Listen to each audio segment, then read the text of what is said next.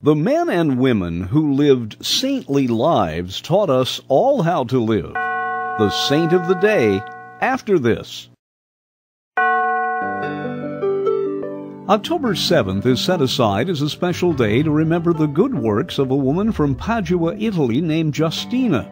She was among many young Christians who were martyred by the Emperor Diocletian during a purge in the 4th century. I'm Dennis Daly.